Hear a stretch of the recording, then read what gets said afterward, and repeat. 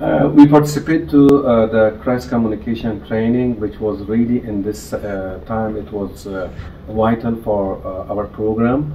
Uh, we invited the, from PMTs and also from our other partner W2. Uh, so the training was for two days. It was very nice. It was that the quality of the training was high.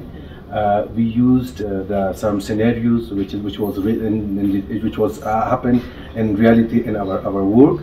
So this was uh, very nice, and we can use it inshallah in future in our program. And I'm sure that after using this uh, program or, or crisis communication, the program uh, will be improved, and inshallah we can respond all the crises in the field. Thank you. All of you know that when polio eradication was started in 1988, yeah, we started with Same, same, same scenario. Is that scenario, what is the reach and scope?